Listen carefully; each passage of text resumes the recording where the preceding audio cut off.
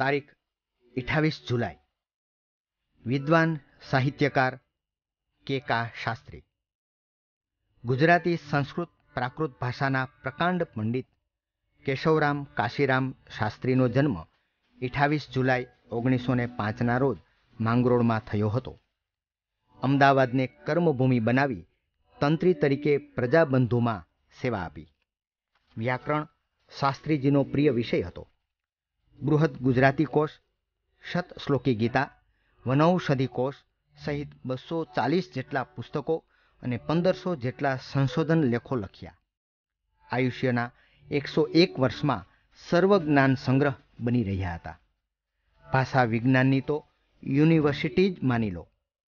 ભગવદ્ ગોમંડળની રચનામાં પણ તેમનું પ્રદાન હતું. લાખો હસ્તપ્રતોનો અભ્યાસ કર્યો. પાણી માટેની ખોજ એ પણ શાસ્ત્રીજીના સંશોધનનો વિષય હતો. લુપ્ત થયેલી સરસ્વતી નદીનો ભૂગર્ભ માર્ગ શોધવાની ટીમના તેઓ માર્ગદર્શક હતા. શાસ્ત્રીજીના પુસ્તકોની જેમ સન્માનની પણ લાંબી યાદી છે. વિદ્યા વાચસ્પતિ, પદ્મશ્રી, મહામહિમોપાધ્યાય, ડોક્ટર ઓફ લિટરેચરની પદવીથી તેઓને સન્માનિત કરવામાં આવ્યા હતા. નર્મદ ચંદ્રકથી રણજીતરામ સુવર્ણ ચંદ્રક જેવા દસ એવોર્ડ, અઢાર પદવીઓ તથા ચાલીસ માનપત્રો એનાયત થયા હતા. ઈસવીસન બે હજાર છમાં કેકા શાસ્ત્રી મૃત્યુનો હાથ પકડી જાણે અનંતની યાત્રાએ ચાલી નીકળ્યા. પાંચ ફૂટની ઊંચાઈ અને માત્ર ચાલીસ કિલો વજન સાથે એકસો બે વર્ષની જીવનયાત્રામાં એમણે કરેલા કામ આવનારી પેઢી માટે દંતકથા સમાન જ બની રહેવાના છે. ભારતીય વાસ્તુશાસ્ત્રની એક વિશિષ્ટતા છે. એમના જે મકાનો, રાજમહેલો વગેરે બાંધવામાં આવતા હતા. એમાં એક વસ્તુ ખાસ ધ્યાનમાં રાખવામાં આવતી હતી કે મકાન હોય કે રાજમહેલ હોય, એના ચારે ખૂણાઓ જે છે એ રેક્ટેન્ગ્યુલર હોવા જોઈએ. બીજું દક્ષિણ સિવાય નહીં. ત્રણ બાજુએ દરવાજા આવી શકે.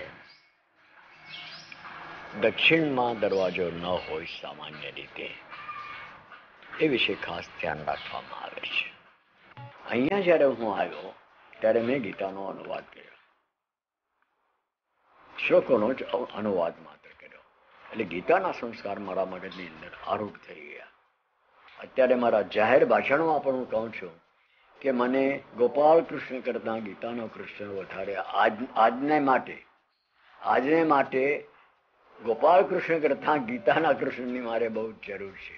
કે એ કહી છે કે હૃદયનું દરબલ્ય દૂર કરી અને લડવાને માટે તૈયાર થયા. તમે જાણતા નહીં હો કે દુનિયામાં આર્ય નામની કોઈ જાતિ કે વંશ હતો જ નહીં. ઋગ્વેદથી લઈને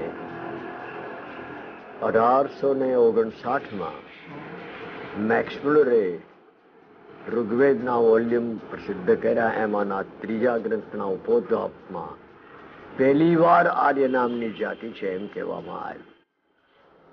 એટલે ઝડપ એને પકડી પાડ્યું કે આર્ય નામની જાતિ હતી, આર્ય નામની જાતિ હતી.